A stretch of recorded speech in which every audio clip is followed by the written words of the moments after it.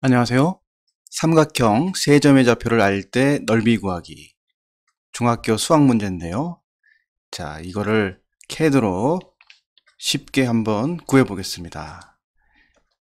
자, 일단 X 좌표, Y 좌표가 되겠고요. 그 다음에 가운데는 0,0입니다.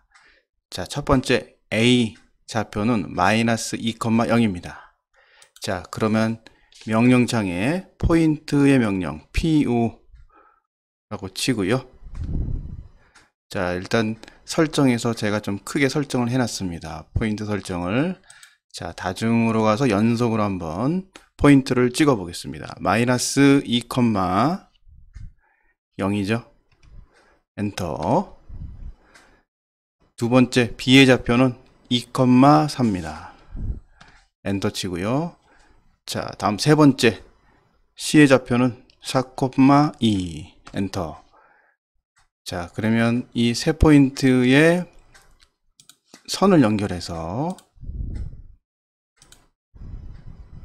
자, 현재의 삼각형의 세 점의 좌표를 연결해서 만들었습니다.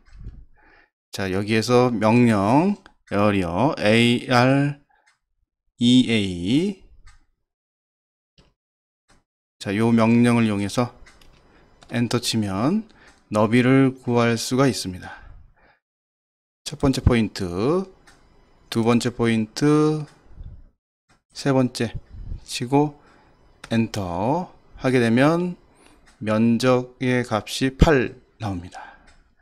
정답은 8입니다. 감사합니다.